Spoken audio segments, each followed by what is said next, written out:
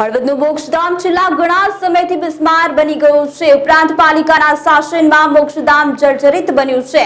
ત્યારે લાઇટ પાણી જેવી અનેક જરૂરિયાતોથી વંચિત રહીને પારાવાર મુશ્કેલીઓનો સામનો કરવો પડી રહ્યો છે આ અંગે અનેક વખત તંત્રને રજૂઆત કરવા છતાં કોઈ જ કાર્યવાહી કરાઈ નથી. હળવદનું મોક્ષધામ આજે અનેક સુવિધાઓથી વંચિત છે, જ્યારે હળવદ પાલિકાના શાસનમાં મોક્ષધામમાં ઠેર ઠેર બાવડા ઝૂડ ઉગી નીકળ્યા છે.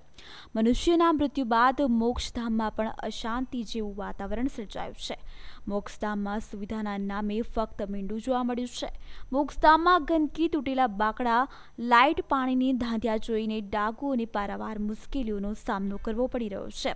જે ભઠ્ઠી ઉપર અગ્નિદાન દેવામાં આવે છે તે પણ વર્ષો જૂની છે, જે બદલાવવા માટે અવારનવાર રજૂઆત કરવા છતાં કોઈ જ બદલાવ આવ્યો નથી.